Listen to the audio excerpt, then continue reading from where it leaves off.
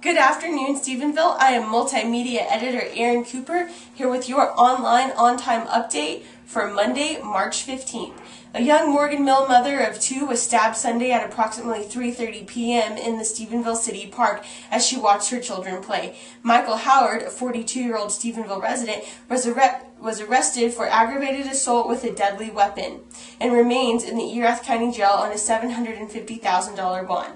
Doctors do not expect the mother to walk again. An account has been set up for her at Town and Country Bank. For more details, read Managing Editor Sarah Vandenberg's story online or in the Tuesday's edition of the ET.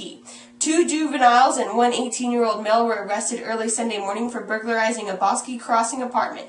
The individuals are also suspects in the burglary of Cowboy Tobacco.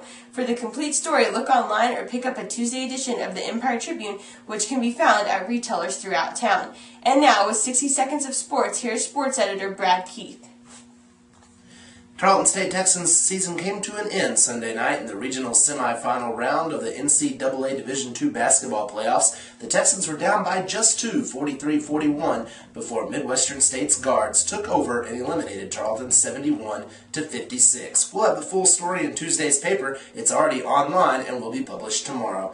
Also, you won't want to miss a look back at the career of little big man Efren Bryant, a four-year letterman whose career ended Sunday night after helping the Texans to 85 five wins. We'll also get you caught up on high school baseball and softball action in the Tuesday paper and information concerning the upcoming Bobby Fox Memorial Golf Tournament that benefits Tarleton's football team will be published. Thanks for tuning in for your daily sports update. I'm Brad Keith.